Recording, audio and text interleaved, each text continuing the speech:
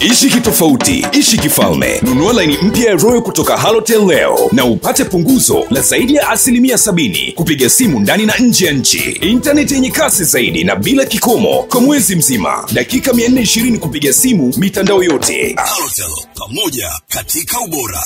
Ni kweli kwamba kuna baadhi ya wanafunzi ambao uh, matokeo yao yamezuiliwa.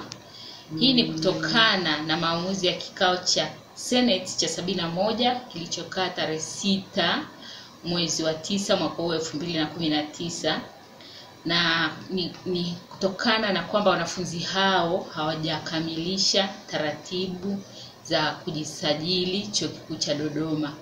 Kwa maana moja ya taratibu za usajili pia inampasa mwanafunzi kulipa ada.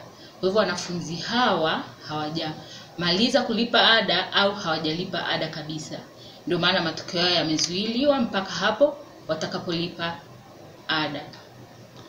Wanafunzi hao wako wangapi?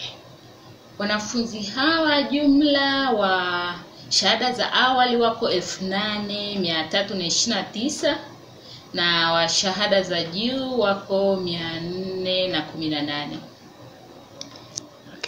Nini sasa ambacho unawaambia wanafunzi hawa ambao matokeo yamezuiliwa? Uh, wanafunzi hawa mimi ninawashauri tu ni vizuri kufuata utaratibu uliowekwa wa kujisajili mara wanapofika chuo.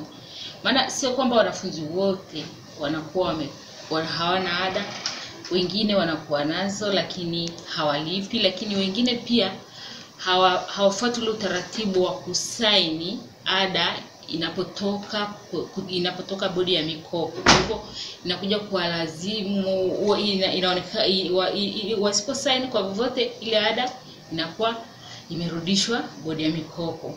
Kwa hiyo ni vizuri wafuate utaratibu unaowekwa wa, kama ni mtu ambaye ana mkopo asaini mkopo, na kwa wale ambao wanajilipia wajitahidi walipe ili waweze kuji, kukamilisha hizo taratibu za usajili na kufanya naye akisha akisha yani akisha aki, ak, atakapolipa ataweza kuona matokeo yake na kama kuna yoyote ambaye ana mitihani ya kurudia basi ata, atairudia wakati itakapotolewa tena. Na swala ambalo lipo kwamba waalimu wanatunga mitihani migumu kwa ajili ya kuwakomoa wanafunzi likoje?